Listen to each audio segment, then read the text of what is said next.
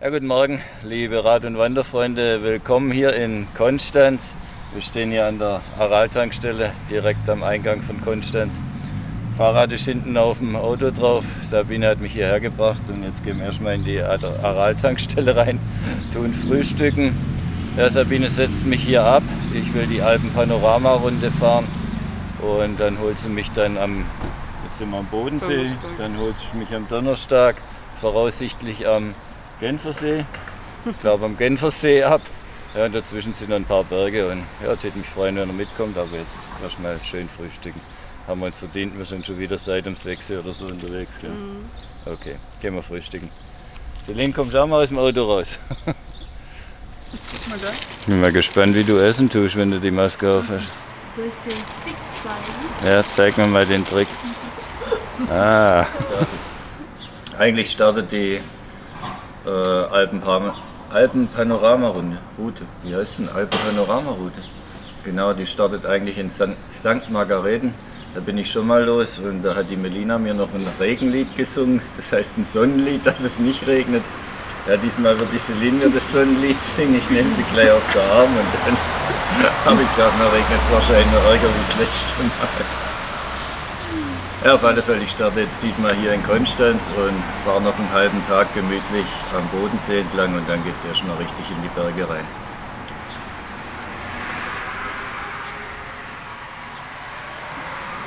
Tschüss.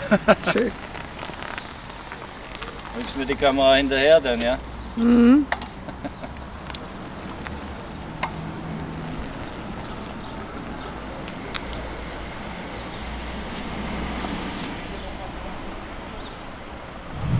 Ja, dann werde ich gleich mal voll Richtung Schweiz zuhalten. Ja, ich bin jetzt unten am See und da die Brücke, wo wir vor uns sehen, da werde ich jetzt gucken, dass ich drüber gehe und rüber in die Schweiz. Und da muss ich dann erstmal an einem Geldautomat ein paar Fränkli ziehen.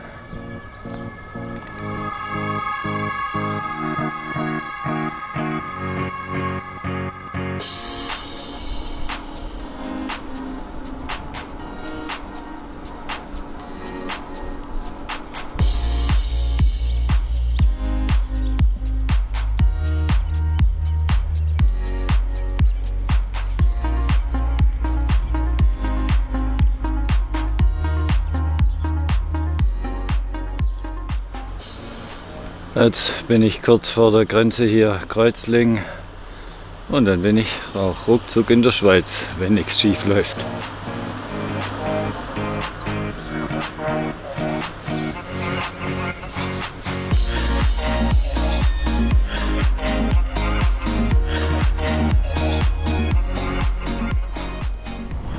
So schnell geht's. Ich bin in Kreuzlingen, somit in der Schweiz. Und jetzt fahre ich ein schönes, langes Stück Schweizer Bodensee-Radweg. Schön eben.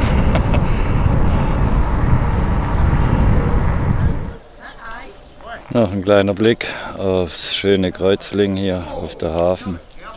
Und dann geht's weiter.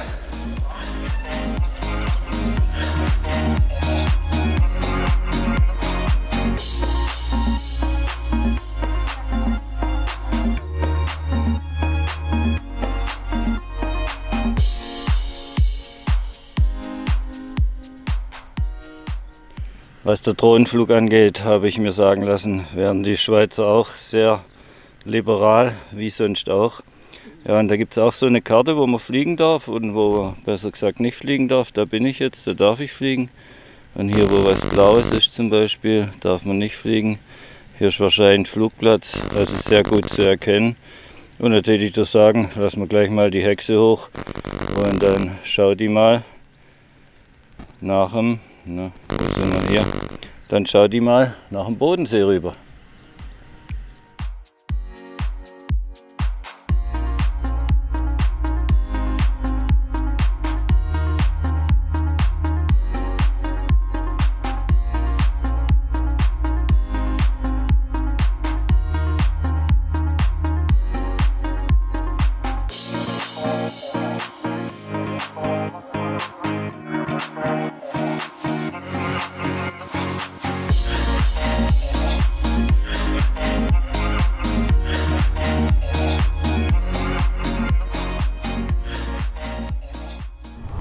Das war mein erster Flug jetzt hier am Bodensee.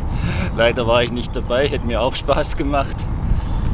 Und ja, das T-Shirt, wo ich hier anhabe, ich weiß nicht, ob man es sieht, ja, ist vielleicht nicht ganz passend, wenn man mit dem E-Bike, mit dem Fett-E-Bike unterwegs ist. Aber das hat mir mal ein Schweizer geschickt, geschenkt.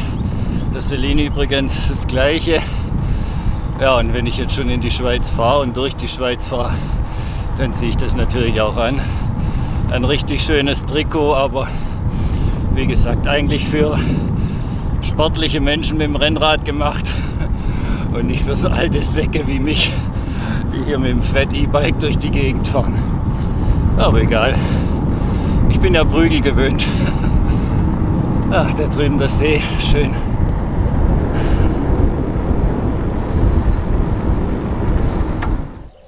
Da vorne sehen wir dann das typische Fluggerät hier am Bodensee, der Zeppelin. Allerdings kostet so ein Flug mit dem Zeppelin äh, mehr wie meine Drohne. Also, und das für eine Person. Da bleibe ich dann halt doch besser auf dem Radweg. Das ist wesentlich günstiger hier unten am Boden und auch schön.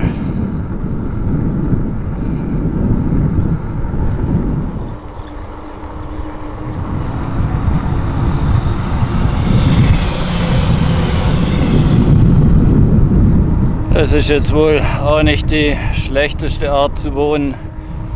Boah, könnte ich mich auch dran gewöhnen. ja, aber ich werde heute Nacht wieder in meinem Zelt wohnen. Und das hat doch auch was.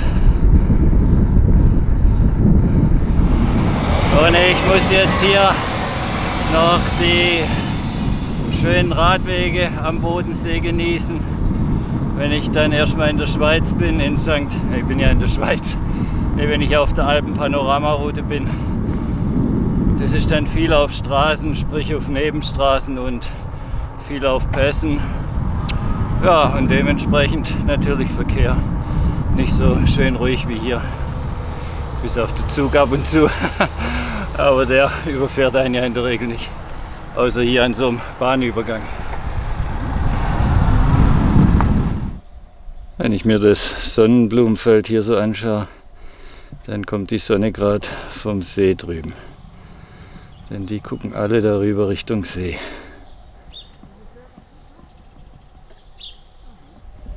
Mittlerweile bin ich in Utwil, habe 23 Kilometer und da vorne sieht man dann schon die Berge. Ja, da werde ich dann rechts abbiegen vom Bodensee und dann geht es in die Berge hinein. Da freue ich mich drauf. Aber auch nur, weil ich Motorle hinten dran habe. nee, nee, auch so. Inzwischen ist 10 Uhr, der Bodenseeradweg füllt sich ganz schön. Kommen mir doch sehr viele jetzt entgegen. Ja, und ich bin jetzt gleich in Romanshorn. Da fahren wir durch und dann schauen wir mal, wie weit es noch ist.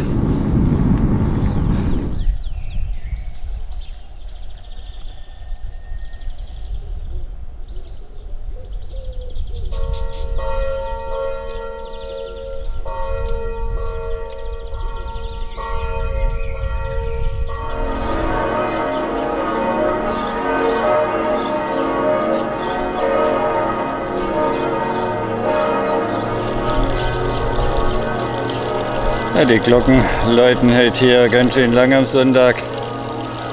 Und mir ist gerade eingefallen, ich habe immer noch nicht nach Frankly geguckt. Ich sollte mal nach dem Bankomat schauen. Vielleicht finde ich hier einen. Ja, das war jetzt gleich mal der erste Schock des Tages.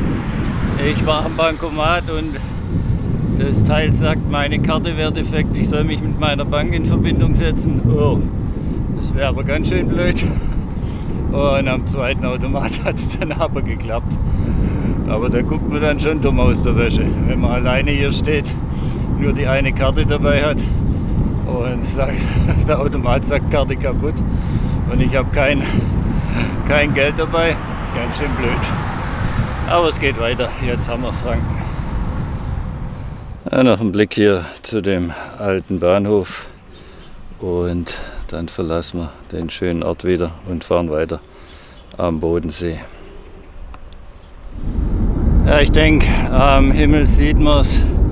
Das Wetter ist für die nächsten Tage auch nicht gerade allzu rosig gesagt.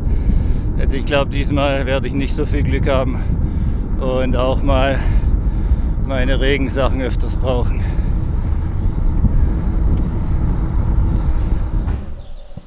Und die Schweizer haben immer wieder schöne Ideen, was ihre Häusle angeht und Turmle.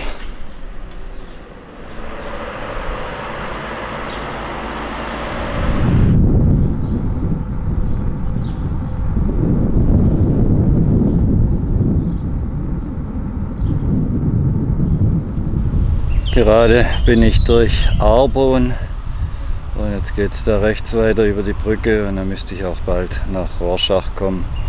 Und dann geht es richtig rechts weiter für mich. Ganz rechts in die Berge rein.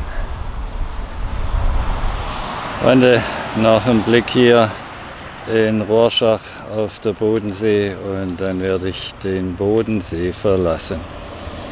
Der letzte Blick jetzt Richtung Bodensee.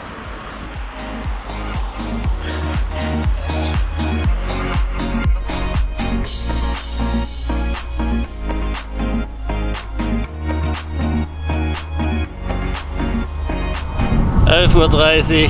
Ich habe der Bodensee verlassen und schon geht's bergauf für mich. Das Motorle schafft, der Rainer schafft.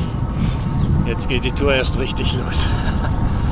Ja, 80 Kilometer habe ich heute noch vor mir und ich denke mal so einige Höhenmeter. Ich freue mich trotzdem drauf. Super.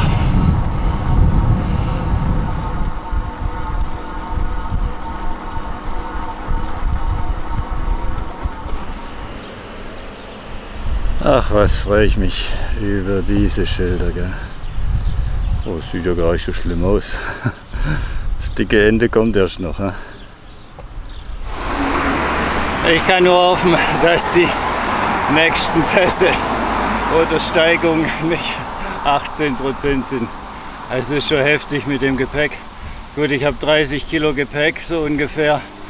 30 Kilo das Fahrrad, 32 äh, Kilo ich 80 und da 18 Prozent heftig. Nächster Ride die Alps. ich bin mal gespannt, was noch alles kommt. Oh oh.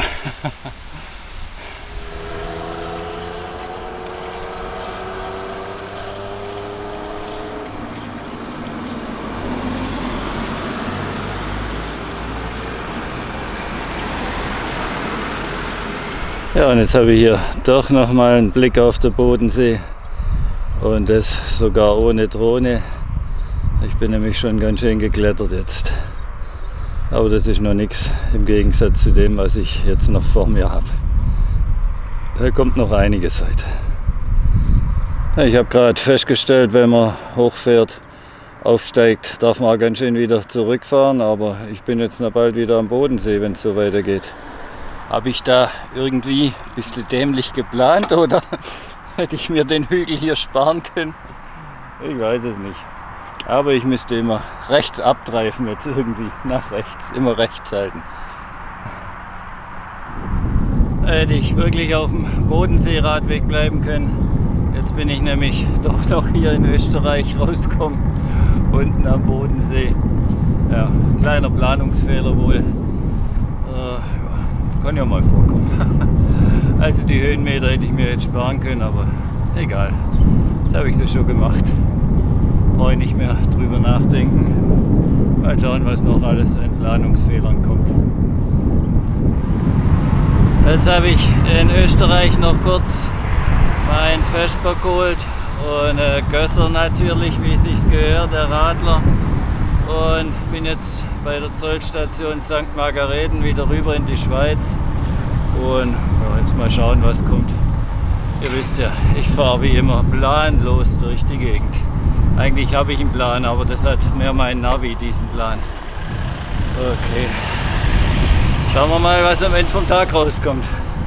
Am Bahnhof hier in St. Margareten, wo ich gerade vorbei bin, beginnt jetzt auch der offizielle Alpen-Panorama-Radweg Schweiz. Es ist die Schweizer Route Nummer 4, wenn ich mich nicht täusche. Genau, die haben ja lauter so Routen und die Nummer 4 müsste die Alpen-Panorama-Route sein.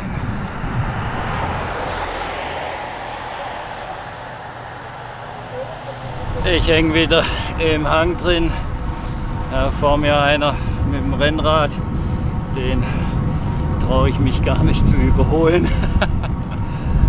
Muss ja auch nicht gerade sein. Ja, und ja, wenn jetzt mal schönes Plätze kommt, dann werde ich mal eine Vesper machen. Wir haben schon 12.51 Uhr, also könnte mal Zeit werden für eine schöne Jause, oder wie sagt man hier nicht? Achso, wir sind in der Schweiz. Ist die Schweiz auch Jause, oder? Naja, egal. So wie es aussieht, regnet es unten am Bodensee schon. Da kann es sein, es dauert nicht mehr lange hier regnet es auch bald.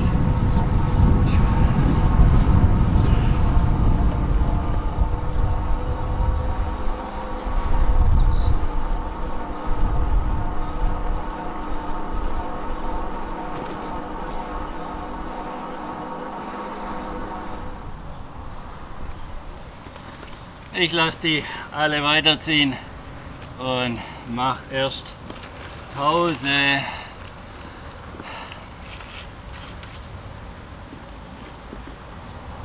Das Ganze hat mich jetzt 4 Euro gekostet.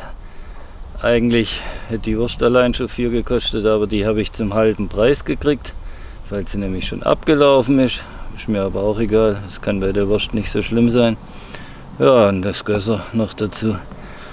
Ja, so günstig werde ich wohl in nächster Zeit nicht mehr zum Essen kommen. Damit ist jetzt für eine Weile vorbei, aber jetzt genieße ich es noch.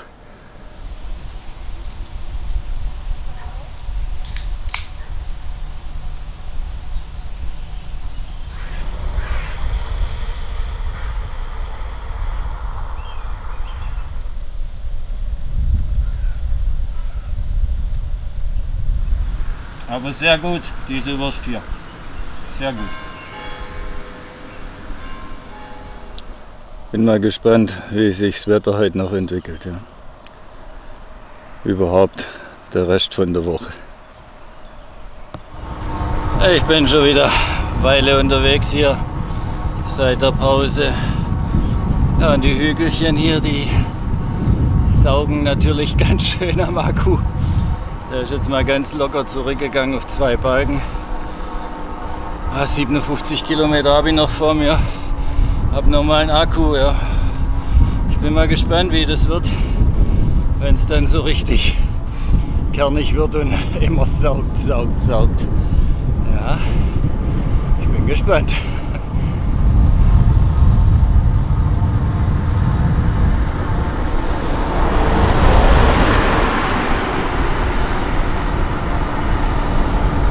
Aber ich lebe ja immer in der Hoffnung, da wo es hochgeht, geht es auch wieder runter. Und da spare ich ja dann Akku. Okay. Passt schon, passt schon.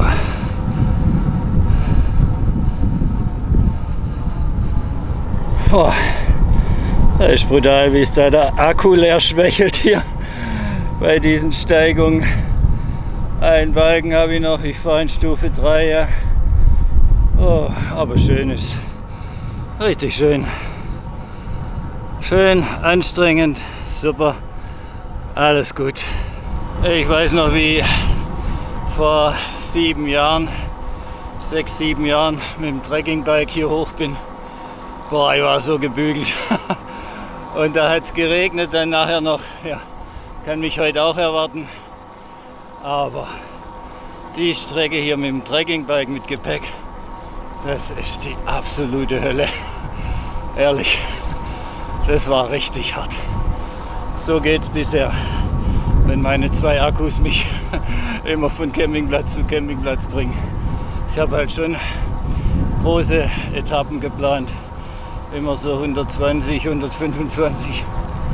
Bloß die letzten sind kürzer. Ja, es bleibt spannend.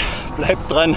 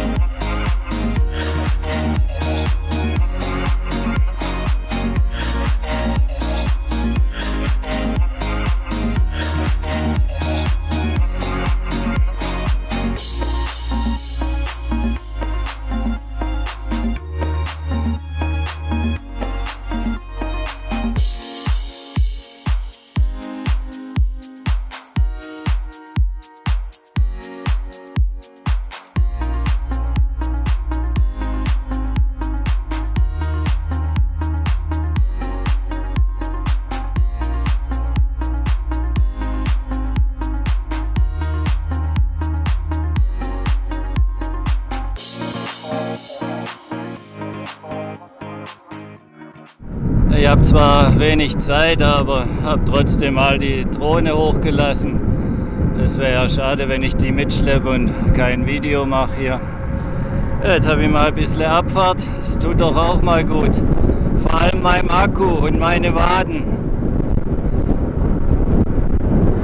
Gerade war ich in Heiden, heißt es, glaube ich. Und jetzt geht es weiter Richtung Drogen. Das sind noch neun Kilometer. Und natürlich, ja klar, bergauf, bergab. Werde jetzt bald der Akku wechseln müssen. Habe jetzt 83 Kilometer und so 1000 Höhenmeter. Ja, da geht es langsam zu Ende hier. Das kann immer lang gut gehen. Ja, ist schon ganz schön kernig. Also, das sieht zwar hier so locker aus, aber da hoch, das strengt schon ganz schön an, ich sag's euch.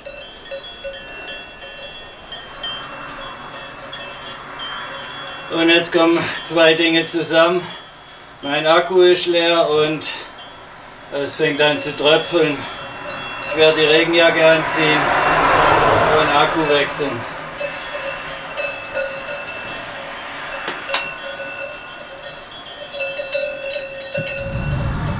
Weiter geht's mit vollem Akku und leichter Regenbegleitung. Bisher nieselt es nur so ein bisschen. Ich hoffe, dass nicht viel mehr kommt heute.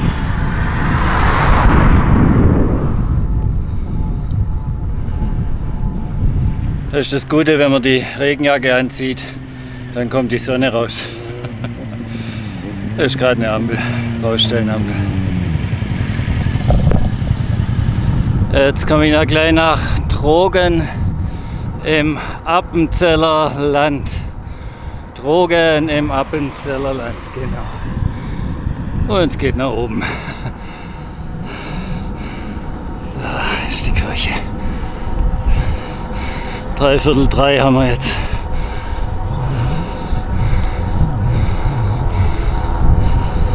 Das schöne Appenzeller Land mit dem guten, leckeren Käse.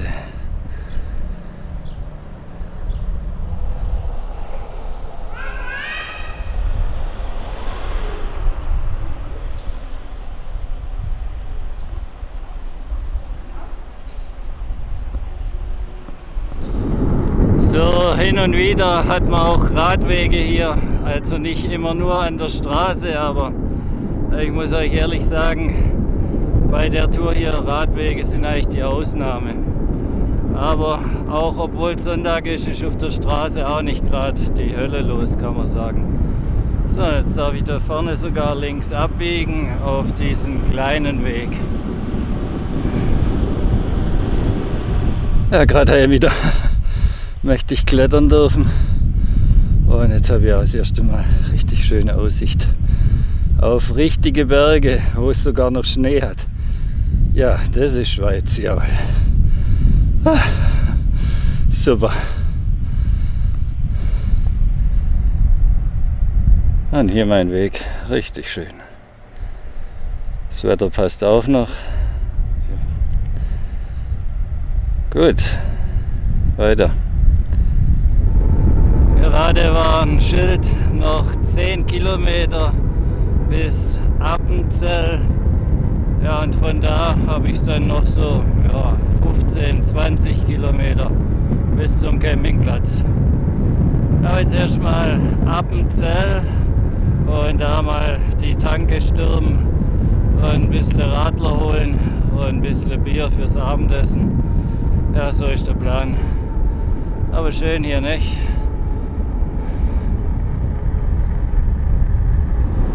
Laut Himiway Tacho habe ich 103 Kilometer und laut Sigma GPS habe ich 95 Kilometer. Das geht schon wieder ein bisschen auseinander hier.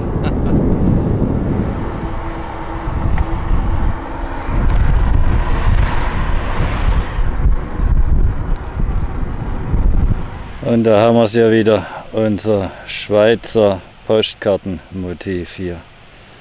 Wunderschön.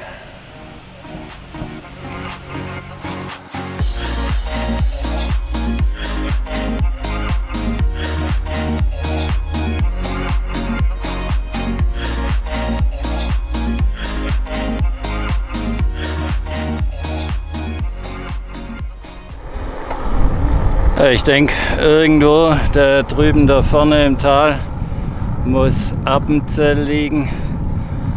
Und ich habe euch ja gesagt, was ich davor habe. Appenzell, jawohl. Bier und Käse, ja? Appenzell. Ich träume hier immer vom Käse und daran habe ich jetzt Appenzell erkannt. Ja klar. Appenzeller Bier und vor mir Appenzell. Jetzt suchen wir die Tanke. Ja, 20 vor 4 ist schon. Die Zeit vergeht. Und ich gehe auch weiter. Was für eine dämliche Ansage.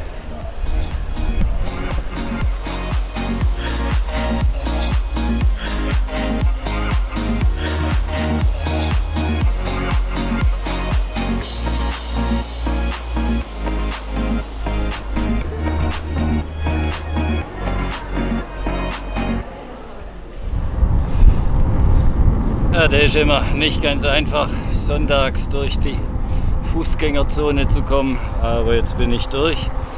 Ja, und so wie ich das noch im Kopf habe, müsste da vorne eine Tankstelle kommen. Besser gesagt zwei, aber eine müsste auch offen sein.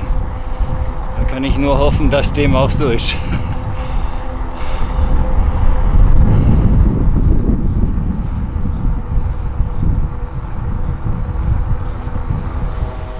Ja, ich glaube, Radler wird, wird überbewertet. Ich habe mir jetzt drei Quellfresh geholt und die eiskalt. Und jetzt gehe ich die letzten 18 Kilometer bis zum Campingplatz an. Und ich denke mal, wenn ich Gas gebe, dann sind sie am Campingplatz auch noch kalt. Gehen wir los. Gehen wir weiter, besser gesagt.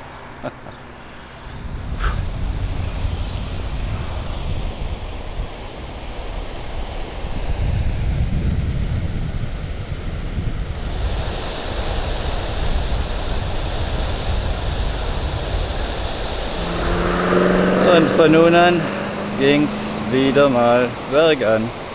Aber das packen wir auch noch. Akku ist fast noch voll. Kein Thema.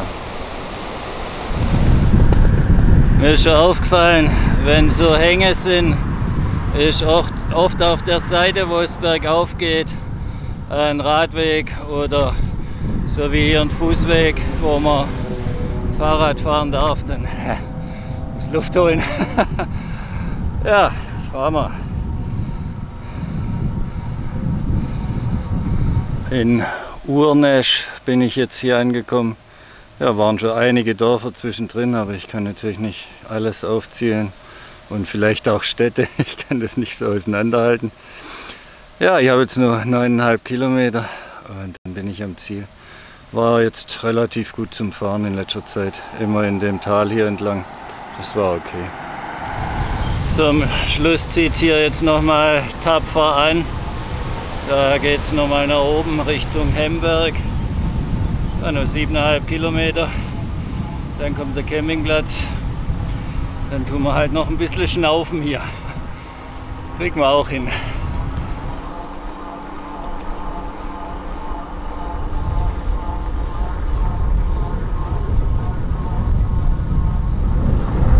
Ich bin mal wieder oben auf der Höhe angekommen und finde es immer wieder brutal, wie, wie der Motor an dem Akku saugt, wenn diese brutalen Steigungen kommen, wenn es dann steil wird.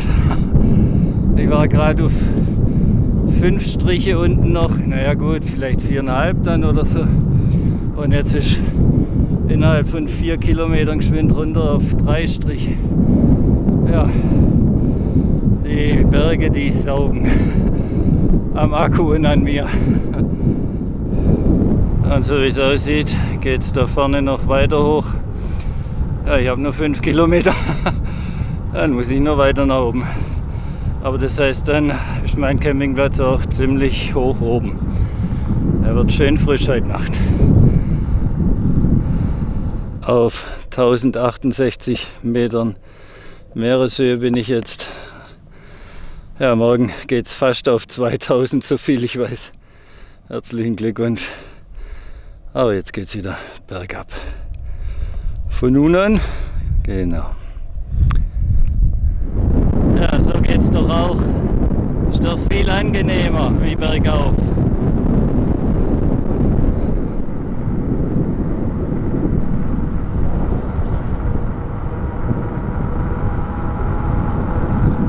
1817 Höhenmeter.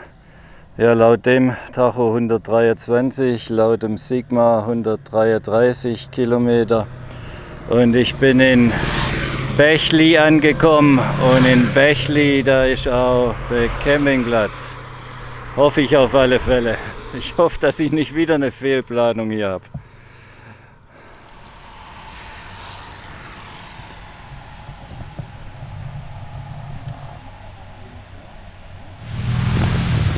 Für 17 Franken habe ich jetzt hier den schönen Platz. Und jetzt werde ich als erstes mal Strom einstecken, denn wenn ich die zwei Akku laden muss, das wird auch eine Weile dauern. Da braucht einer aus 6, 7 Stunden, vielleicht noch mehr, ich weiß es nicht. Und insofern wird es die erste Aktion jetzt sein, Akku laden und dann Zelt aufstellen.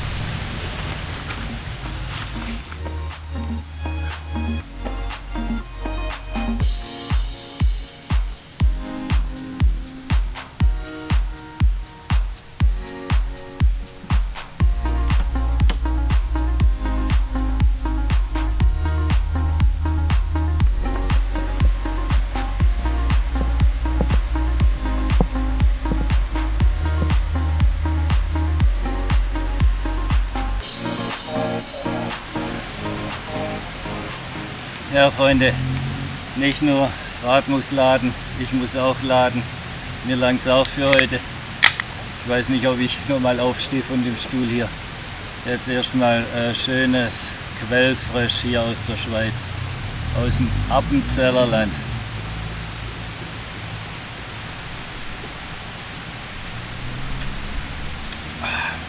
Das tut gut. Jetzt mal zurücklehnen. Ah, ja. Hat übrigens auch jemand am Horst gebracht. Mir fällt jetzt dein Name nicht ein. Du hast einen Horst 4 so quellfrisch aus der Schweiz mitgebracht mit dem Fahrrad. Vielen Dank dafür. Und mir fällt dein Name nicht ein, das ist ja echt peinlich. Aber ja, also ich habe das Quellfrosch nicht bis hierher geschleppt. Ich habe es 20 Kilometer geschleppt, das hat mir gelangt. Und jetzt werde ich schnell vernichten, dass ich es morgen nicht noch weitertragen muss. Zum Wohl.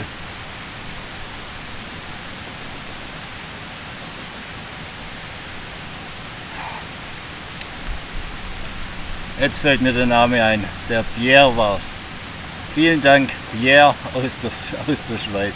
Manchmal fällt mir ja doch noch was ein. Also Pierre, zum Wohl auf dein Quellfrisch. Das steht aber noch bei mir, das will ich mit dem Horst mal trinken, wenn ich mit dem Horst mal auf Tour gehe. Jetzt also nochmal zum Wohl.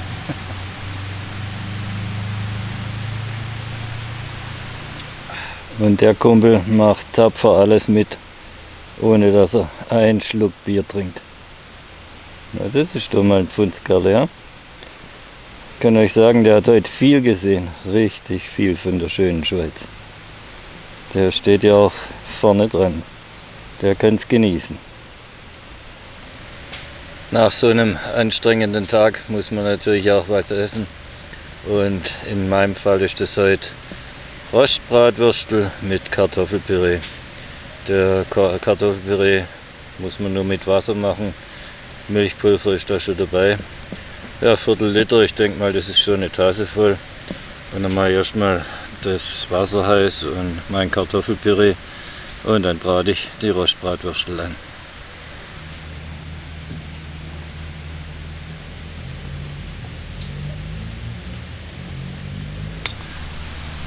Ich habe gerade noch mal geguckt, das ist kein Viertel Liter,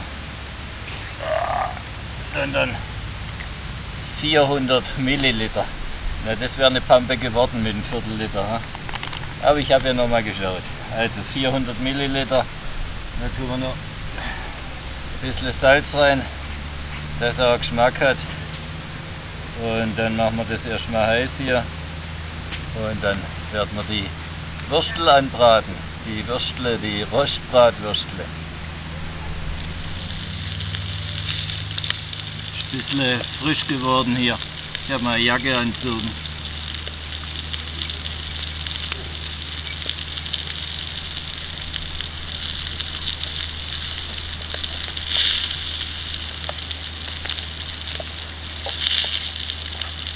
Ich denke, das wird was.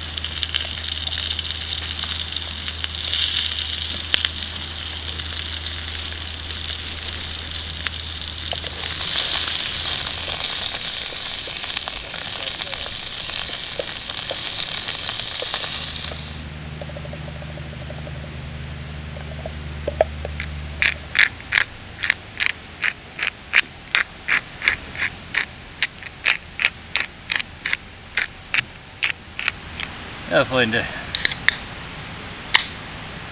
so schnell kann man in der Schweiz ein paar Franken sparen.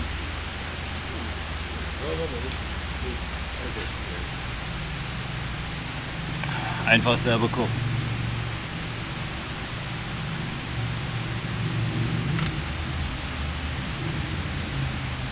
Dann guten Appetit.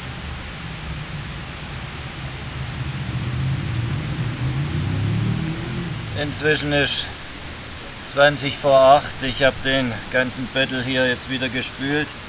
Jetzt packe ich noch zusammen und ja, trinke noch den Rest von meinem Bierchen und dann werde ich hier mal aufräumen und vielleicht noch ein bisschen laufen. Mal schauen.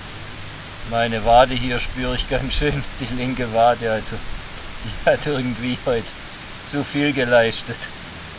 Ja, packen wir zusammen und dann. Oh, das habe ich vergessen. Also. So. Und dann mal schauen, was noch geht heute.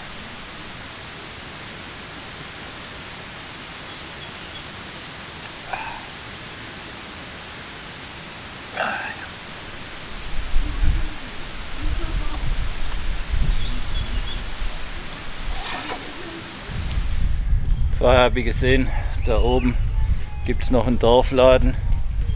Da möchte ich mal schauen, wann der morgen früh aufmacht. Vielleicht kriege ich da ja ein Frühstück. Da werde ich jetzt noch gemütlich hinlaufen und dann werde ich den Tag beenden. Ich habe ja gedacht, hier wäre schön, ein bisschen mit der Drohne zu fliegen, aber ich habe jetzt schon zwei Bier gehabt. Lass ich besser. Sonst kann es sein, die macht der Abgang die verlässt mich. Da links steht Lebensmittel. Ja, das scheint der Dorfladen zu sein. Na gucken wir mal, wann der morgen aufmacht. Ha?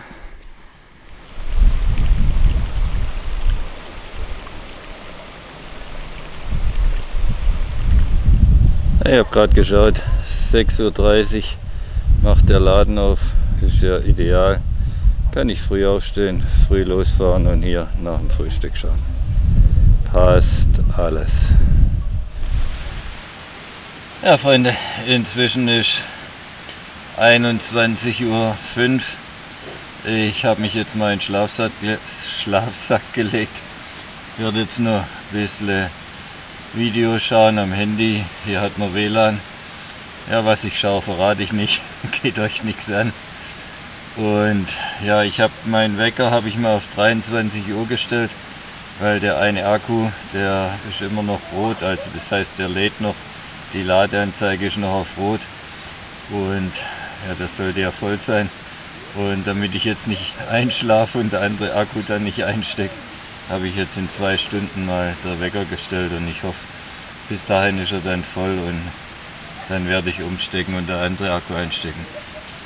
Ja, jetzt sage ich mal Tschüss und wie immer bis zum nächsten Mal. Morgen wird es wieder eine richtig harte Tour, wieder von die Kilometer, ziemlich gleich wie heute. Und morgen geht es über einen richtigen Pass drüber auf 2000 Meter, nämlich über der Abula Pass heißt der, glaube Da bin ich vor, ja, vor sechs, sieben Jahren, weiß nicht mehr genau, sechs Jahren, glaube bin ich dann mal kurz abgeschwächelt, habe mein Zelt rechts in die Wiese stellen müssen, weil ich so kaputt war. Und ich hoffe, dass ich morgen drüber komme. Morgen sollte ich ja auch Akku haben. Da sollte es besser gehen wie mit meinem Trekkingrad. Ich bin gespannt und ihr hoffentlich auch. Also vielen Dank fürs Reinschauen und tschüss, bis zum nächsten Mal.